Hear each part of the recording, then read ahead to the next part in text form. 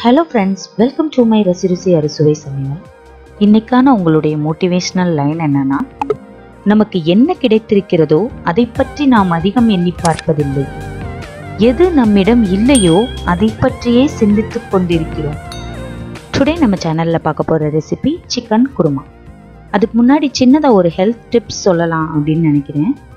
உணவு வகைகளில் இது சாப்பிடக்கூடாது அது சாப்பிடக்கூடாது அப்படின்னு எந்த ரெஸ்ட்ரிக்ஷனுமே இல்லைங்க. நீங்கள் என்ன வேணாலும் சாப்பிட்லாம். ஆனால் ஒரே ஒரு விஷயம் மட்டும் ஞாபகம் வச்சுக்கோங்க.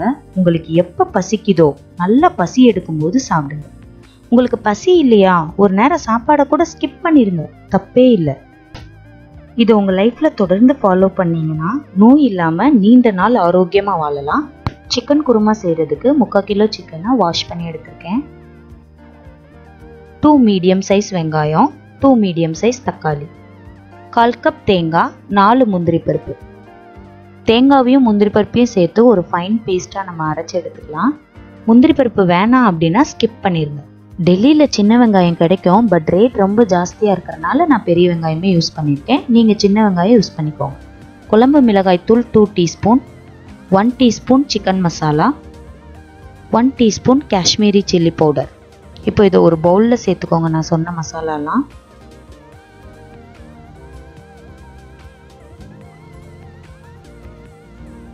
கொஞ்சமாக தண்ணி விட்டு இதை நம்ம நல்லா மிக்ஸ் பண்ணி வச்சுக்கலாம்.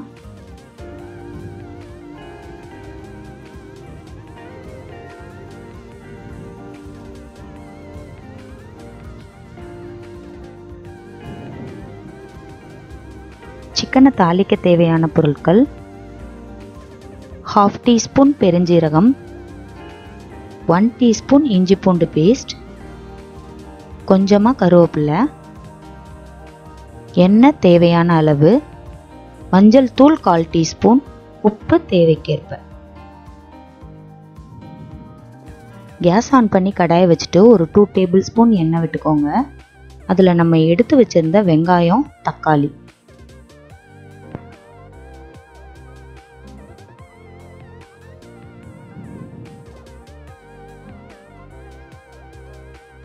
கொஞ்சமாக உப்பு சேர்த்து நல்லா வதக்கிடலாம் இதை. வெங்காயம் தக்காளி நல்லா வதங்கிருச்சு. இதை ஆற வச்சு மிக்சி ஜாரில் அரைச்சி எடுத்துக்கோங்க. தண்ணி சேர்க்க வேண்டாம். கேஸ் ஆன் பண்ணி கடாயை அடுப்பில் வச்சுட்டு குருமாக்கு தேவையான அளவு எண்ணெய் விட்டுக்கோங்க. எண்ணெய் சூடானதும் சோம்பு இஞ்சி பூண்டு பேஸ்ட் கருவேப்பிலை மஞ்சள் தூள் இது எல்லாமே சேர்த்து நல்லா வதக்கி விட்டுருங்க. இந்த சிக்கன் குருமா சாதத்தோட சப்பாத்தி பரோட்டா இட்லி தோசை அப்படின்னு எல்லாத்துக்குமே செம்ம காம்பினேஷனாக இருக்கும். கண்டிப்பாக ட்ரை பண்ணுங்கள் அதோட பச்சை வாடை போனதும் நம்ம எடுத்து வச்சுருந்த முக்கால் கிலோ சிக்கன் ஆட் பண்ணிக்கலாம். இப்போ இதை நல்லா கலந்து விட்டுருங்க. தண்ணி எதுவும் சேர்க்க வேணாம். இந்த எண்ணெயிலேயே சிக்கன் நல்லா பெரட்டி விடுங்க.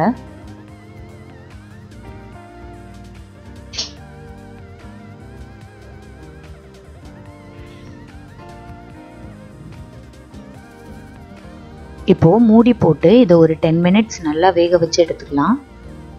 இப்போ நல்லா வெந்துருச்சு. நான் தண்ணி எதுவுமே சேர்க்கலை.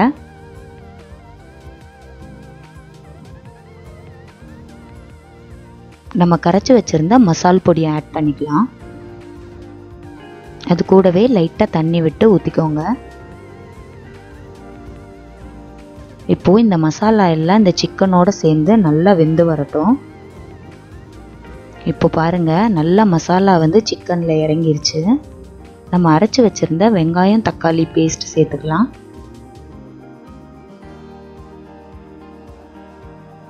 இதை நல்லா கலந்து விட்டுருங்க. அவங்கவுங்க கன்சிஸ்டன்சிக்கு ஏற்ற மாதிரி தண்ணி ஊற்றிக்கலாம் இப்போது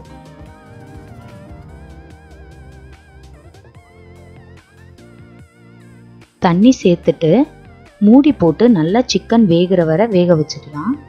சிக்கன் நல்லா வெந்துருச்சு.